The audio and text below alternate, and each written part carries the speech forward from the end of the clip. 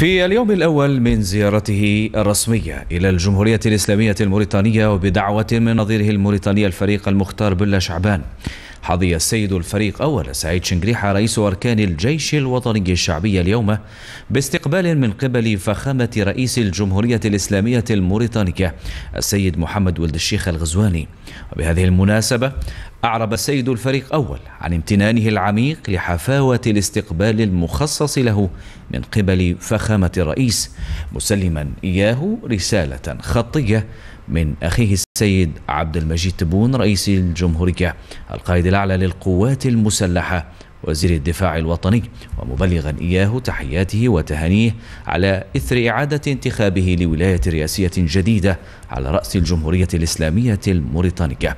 السيد الفريق أول أشاد بالعلاقات الأخوية التي تجمع الشعبين وأكد أن المستقبل يحمل في طياته مزيدا من الفرص لتعميق العلاقات الثنائية بين البلدين الشقيقين.